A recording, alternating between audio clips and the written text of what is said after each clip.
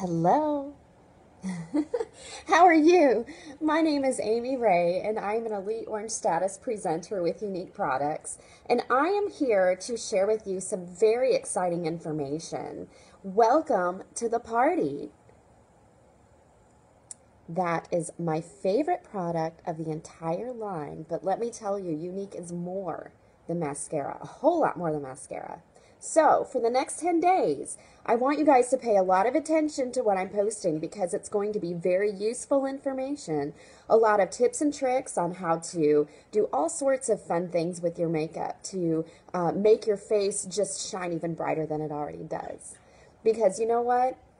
We are all beautiful on the inside and out, and the makeup is just a courtesy to others, right?